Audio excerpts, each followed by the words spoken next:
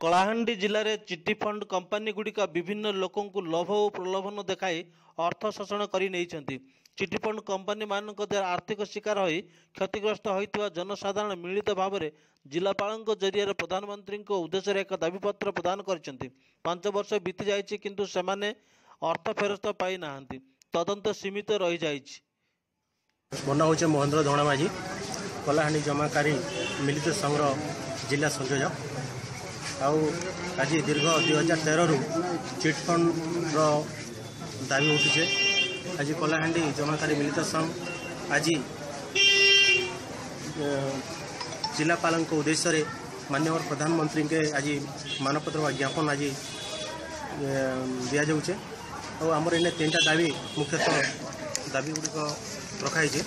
ସେ ଦାବିଗୁଡ଼ିକ ହେଲା କ୍ଷତିଗ୍ରସ୍ତ ଜମାକାରୀମାନଙ୍କୁ ତହସିଲ ଜରିଆ ମାଧ୍ୟମରେ ଚିହ୍ନଟ କରାଯାଉ।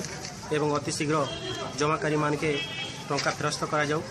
ଦ୍ୱିତୀୟ ଦାବିଟି ହେଲା ଆମର କମ୍ପାନୀର ସିଜ୍ ହୋଇଥିବା ବ୍ୟାଙ୍କ ବାଲାନ୍ସ ଟଙ୍କାରୁ ପ୍ରଥମେ ଜମାକାରୀମାନଙ୍କୁ ଫେରସ୍ତ କରାଯାଉ ଏବଂ ଆମର ତୃତୀୟ ଦାବିଟି ଅଛି କମ୍ପାନୀମାନଙ୍କର ସିଜ୍ ହୋଇଥିବା ସ୍ଥାବର ଏବଂ ଅସ୍ଥାବର ସମ୍ପତ୍ତିକୁ ବଜାର ଦରରେ ନିଲାମ କରି କ୍ଷତିଗ୍ରସ୍ତ ଜମାକାରୀମାନଙ୍କୁ ଟଙ୍କା ଦାବିରେ ଆମ ଆଜି ବିଶା ର୍ୟାଲିର ଆୟୋଜନ କରାଯାଇଥିଲା। ତି ଆମେ ଦୁଇ ଲକ୍ଷ ଟଙ୍କା ଏଡିବିରେ ଏଡିବି ଗ୍ରୁପ କମ୍ପାନୀରେ ଡିପୋଜିଟ୍ କରିଛୁ। ହେଲେ ଆଠ ବର୍ଷ ହେଲା ନା ବି କିଛି ନେଇ ମିଲବା ବୁଝିଲେ କି ନାହିଁ ଆମେ ଜମାକାରୀ କେତେ ଟଙ୍କା କରିଥିଲ?